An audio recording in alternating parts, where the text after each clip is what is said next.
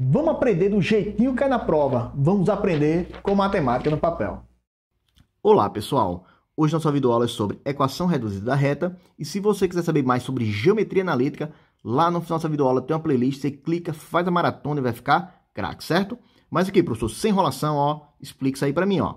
Equação reduzida da reta, ela tem formato, esse formato aqui, ó. Y é igual a mx mais n, certo? Esse M e N pode vir como A e B. Então, se acostumem, certo? Pode vir M e N, que é o mais comum de vir nos livros, e pode vir também A e B, certo? A e B. Se você perceber, parece muito com a função do primeiro grau, a função afim, né? Então, vou sugerir aqui um vídeo muito parecido, né? Mas é de função, mas é, é mais ou menos passo a passo que eu vou fazer aqui.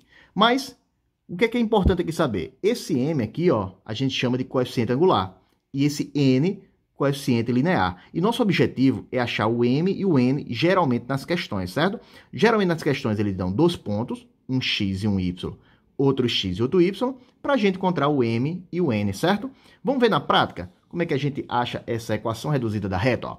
Determine a forma reduzida da equação da reta que passa pelos pontos a, menos 1, 5, e b, menos 3 e menos 1, certo? Gente, o que, é que a gente faz aqui? Olha, eu vou explicar para vocês por sistema, certo? Que é o jeito mais comum. Quando eu tenho aqui ó, A e B, esse cara é o X, é menos 1 é X e 5 é Y. E aqui é quem? Esse primeiro é X e esse segundo é Y, certo? E o que, é que eu vou fazer, professor? Eu vou pegar aquela equação reduzida da reta, ó.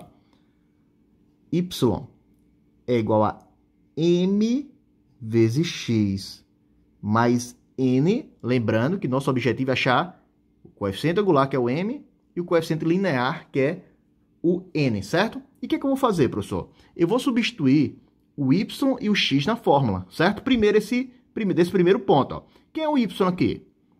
5, né? Aí eu vou substituir. Aí repito m vezes o x. O x aqui é quanto?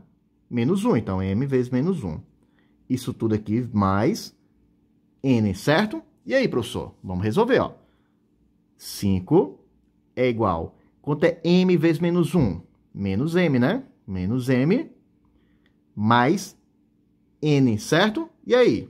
Geralmente, eu gosto de deixar as letras para o lado esquerdo, certo? Então, eu troco todo mundo de lado, ó.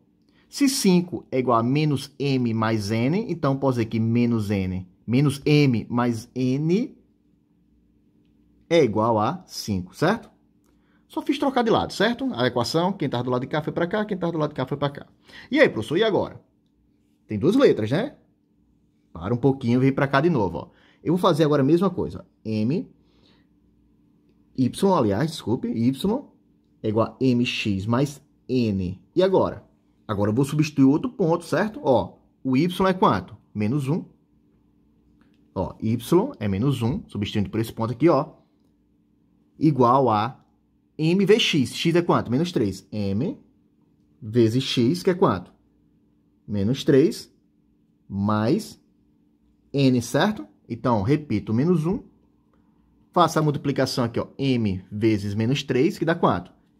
Menos 3m mais, repita esse mais n, certo? Tudo bem? Agora, fazer a mesma coisa que eu fiz aqui. Eu gosto de deixar as letras para o lado de cá. Então, faço menos 3m mais n igual a menos 1, certo? Só fiz trocar de lado. Aqui veio para cá e esse aqui veio para cá da igualdade, certo? Bom, pessoal, agora eu tenho duas equações, essa e essa, e as duas têm duas incógnitas. Quando, quando, quando isso acontece, a gente faz o quê? Um sistema, certo? Ó, menos m, não se preocupe, certo? Esse sistema vai ser muito fácil de resolver. E sempre vai ser o mesmo passo a passo. Você não precisa se preocupar. Porque a galera vê o quê? É sistema, dá um medo, né? Não se preocupe, tenha calma.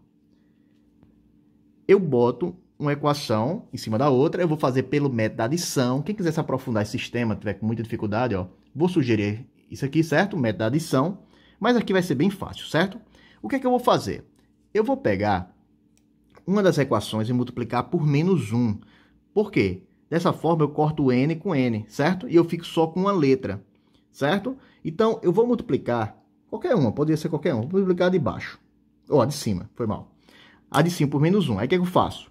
Eu multiplico menos 1 vezes m, menos 1 vezes n, menos 1 vezes 5. Quem já sabe sistema, né? Dá uma adiantadazinha, uma adiantadazinha né? Aumenta a velocidade da, do vídeo, certo? Ó, menos 1 vezes menos m, menos com menos mais, ficaria mais m, certo? Menos com mais, menos, menos n, igual menos com mais, esse 5 aqui é mais, ó, daria menos 5, certo? E repete a de baixo normalmente, ó. A de baixo é quem? Menos 3m mais n, né?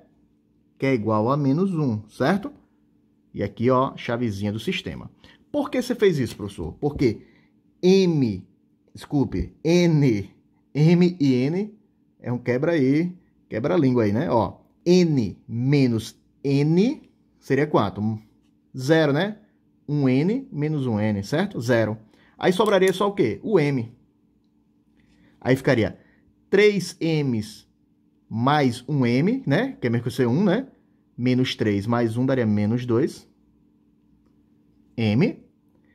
Igual, ó, menos 5 menos 1 daria quanto? Menos 6, certo? E agora, eu poderia multiplicar por menos 1, certo? Já que os dois lados estão negativos, ó. Multiplicando menos 1, menos com menos mais.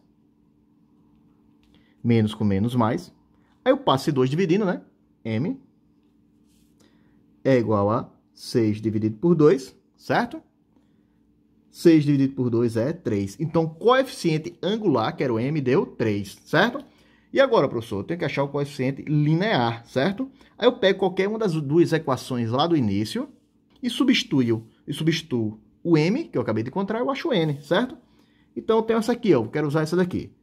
Menos M mais N igual a 5, ó.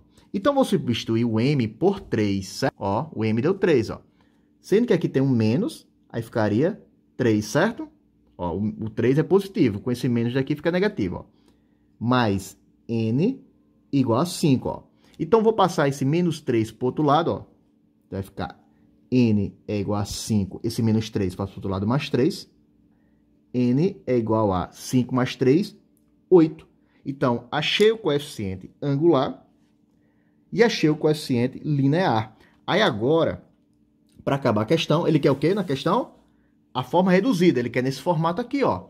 Então, tinha que achar o M e o N, já achei. Aí eu vou escrever o seguinte aqui, ó, presta atenção. Para finalizar, Y é igual a MX mais N, não é isso? Essa é a equação reduzida. Aí eu vou e substituo o M pelo M que eu achei, ó. O M que eu achei foi quanto? 3, ó. 3. Eu não, não substituo nem o X nem o Y, certo? Que eles são variáveis, certo? Isso aqui são constantes. Sempre vai ser 3, sempre vai ser 8, ó. Então, o M é 3. Repito o X. E o N deu quanto? 8. Então, mais 8, certo? Então, aqui, ó, é a minha equação reduzida. Tudo bem? Espero que tenha entendido. Se eu te ajudei, me ajude também. Professor, como é que te ajudo? curtindo, se inscrevendo e compartilhando. Até uma próxima.